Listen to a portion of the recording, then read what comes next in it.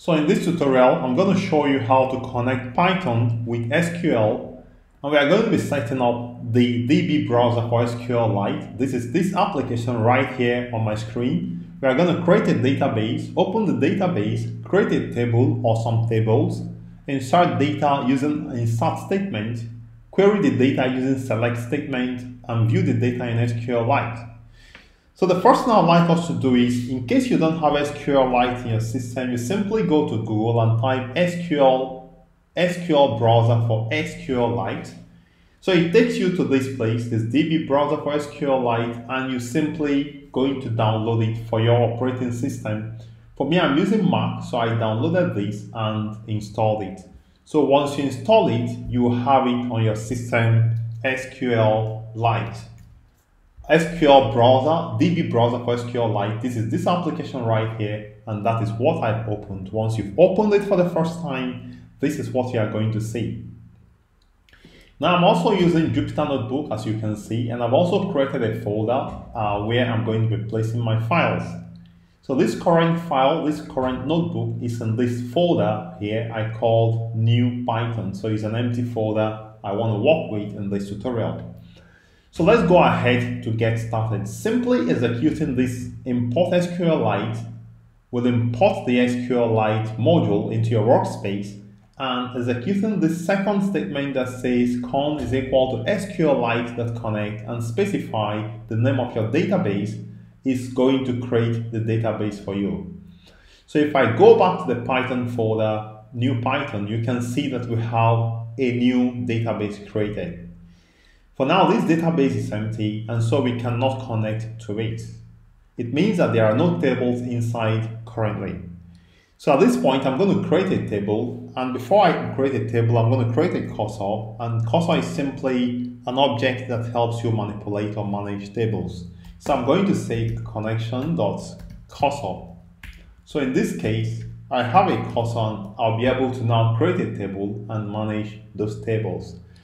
So let's create a new table and then we're able to uh, maybe insert some data into this table. So I'm going to say c.execute and now I'm going to specify open and close braces and then I'm going to specify the SQL statement for creating a table.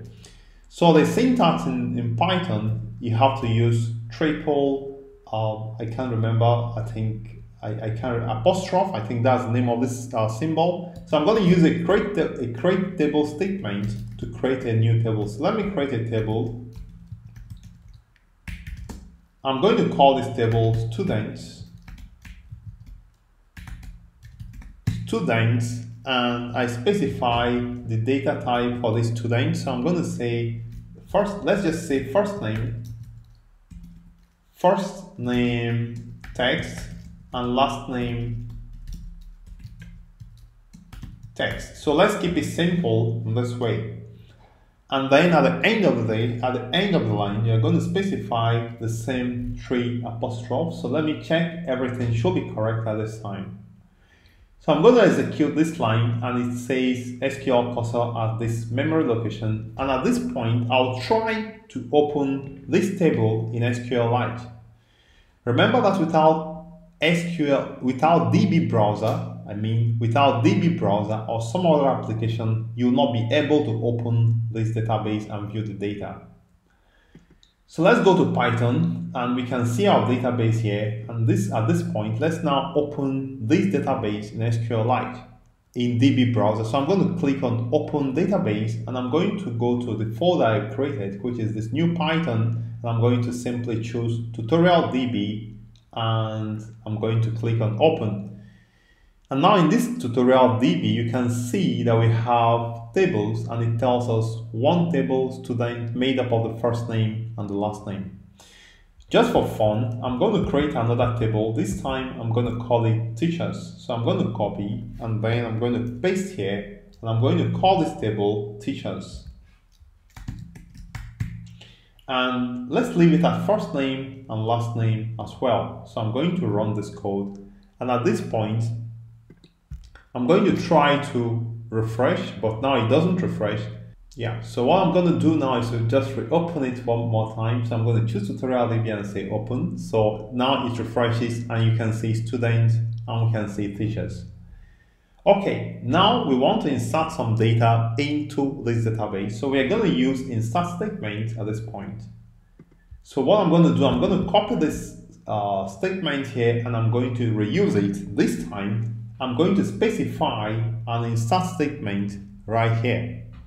So instead of create table, I'm going to simply say insert into, just replace create table with insert into and specify the name of the table you want to insert. Let me make some room here and then specify the data you want to insert and close in quotes, in single quotes. So I'm going to specify Kindson, that's my name, and specify the last name this is my last name, Munonye, and I'm going to simply execute this code. I think, um, not making a mistake, yeah, so let me run. Okay, so we have an error here. Insert into students, values, so I missed that, values, yeah, so it should work at this time. All right, so it tells us cursor at blah, blah, blah. so let me just insert one more item into the student. Let me just insert the name of my friend, uh, Nick. Nick, and the surname is Horvath. All right. And I'm going to click on run. And at this point, if I go to the student table and I'll try to select the data. So let's see. So when I click on browse table, let's make some room here it tells us nothing because for some reason it has to be refreshed. So I'm going to click on this refresh key and it doesn't refresh. Okay, so let me tell you what the problem is. It's true that you've executed these statements right here, but these statements are not yet committed. So at this point, I'm going to simply commit this statement. So I'm going to simply say con dot commit, and this is going to commit or save the, this this uh, is going to simply execute this statement and save it to the database. So I'm going to run this code and it says commit takes one argument, uh, takes no argument. Okay, so I'm going to rerun and it's committed. I'm going to simply close the connection at this point. So I'm closing the connection, run, perfect. So if I come back here and refresh, you can see that we have some items for some reason, I don't really know how to increase the fonts uh, of this. Okay, but at least you can see that we have some data in here. So let's try something else. Let's assume that somebody have given you uh, a database and you want to view the data in this database. You don't have uh, SQLite or uh, the SQLDB. You only use kind of use Python to query the data in this database and display them in Jupyter Notebook right here. So how do you do this? Again, the first thing you want to do is to open the database and declare a cursor just like this one. Have a connection, but the connection at this point is closed. So I'm going to start the connection again by saying con. I'm going to create a new cursor. So C is equal to con dot cursor so now what we want to do now is to select, write a select statement for uh, the students table. So I'm going to write a select statement by saying cn. Again, I'm going to uh, simply copy this code so I can reuse it. So I'm going to copy this code and I'm going to paste it right here. So instead of having an insert statement here, I'm going to delete these values from here. I'm going to just delete the values and simply say select select star from students okay so when you say select star from students it's going to select all the rows from students at this time you can also specify some filtering criteria using a where clause but for now let's just keep it simple i just want to make sure that you're able to start from the scratch and do this initial part and later on we are going to move from here so I'm going to execute this at this time. However, once you fetch some data, you need a place to keep the data. So well, once we have C data execute, we have a cursor now reading this data and want to keep this data in some place as it comes.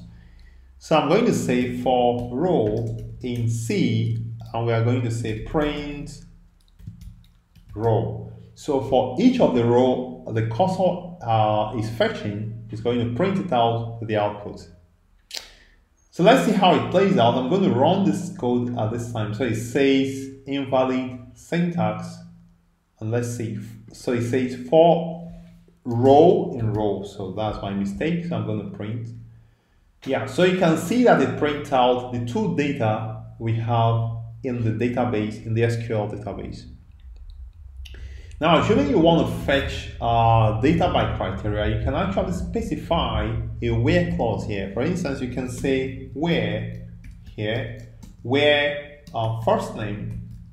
So you can say where first name is equal to specifying single quotes and specify the first name, let's say Kindson. And at this point, I'm going to simply run this and you can see that we have only one record uh, retrieved.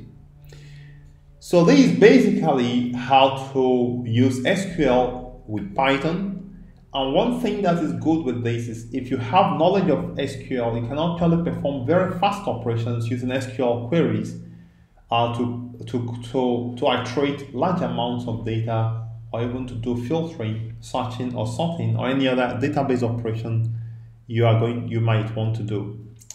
Now the next thing we are going to be talking about will be SQL Alchemy. SQL Alchemy, let me just write it, not in this tutorial, but in the next one, but I just want to make an introduction to this. So SQL Alchemy, uh, I don't know if you've heard it before, so it's an ORM mapping tool for SQL, for, for Python, object, by object relational Python to a relational uh, database in SQL. So let's save it for the next video. But for now, I'm going to stop here. I'd like to thank you for viewing. I'd like to recommend take some time to do this yourself, create as many tables as possible, do a whole lot of select statements and insert statements, and get your head around this. Please remember to subscribe to my channel so that you don't miss any update from me. And I remain Kindson the Tech Pro, and I'm always there for you.